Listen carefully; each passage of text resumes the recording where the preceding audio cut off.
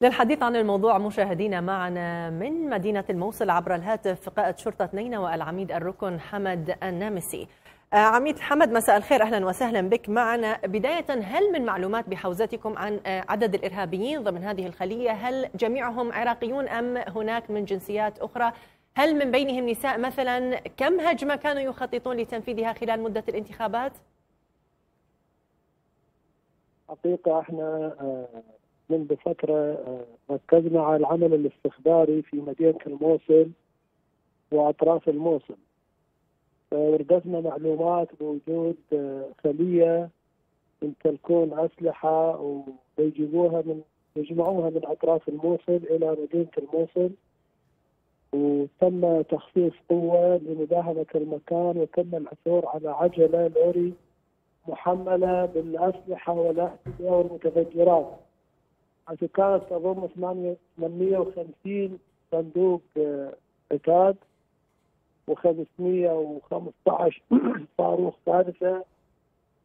إضافة إلى 31 قاذفة وقناصات ومجموعة من الحشوات والمواد التي ان تي إضافة إلى ذلك تم إلقاء القبض قبل أول أمس على 34 من عناصر داعش المطلوبين متخبئين بين المدنيين أو في البيوت والعمل مستمر لمطاردتهم أينما يكونون. نعم. تنسيق صراحة مع قوات التحالف قبل سبعة أيام تم رصد حركة داعش في جبل بادوش وتم ضربهم بالطيران وتم قتل ثمانية دواعش من عندهم.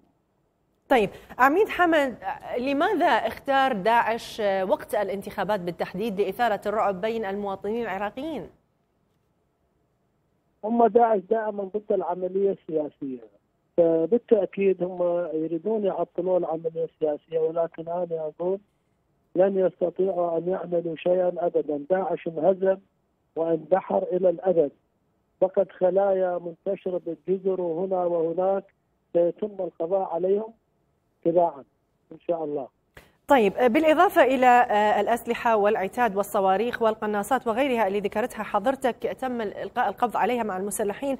هناك ملفات أيضا تم العثور عليها مع أفراد خلية داعش. ما أهميتها؟ والله صراحة هم الخلايا اللي نلزمها هم دا يعترفون ما يحتاج ملفات هم دا يعرفون شنو منو نظمهم متى انتموا للتنظيم شنو جرائم ارتكبوا. جرائمهم يندى لها جبين كل ذبح وقتل. نعم. آه إن شاء الله آه سيتم القضاء عليهم نهائيا في عموم محافظاتنا.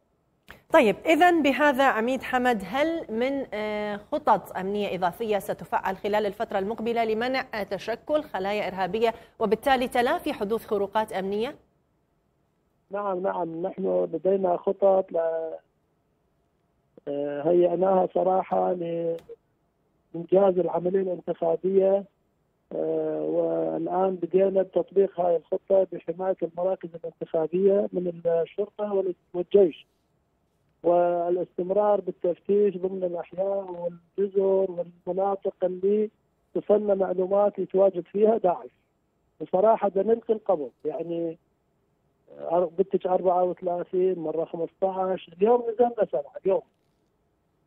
نعم شكرا جزيلا لك على هذه المشاركة من مدينة الموصل. حدثنا عبر الهاتف قائد شرطة نينوى العميد الركن حمد النامس.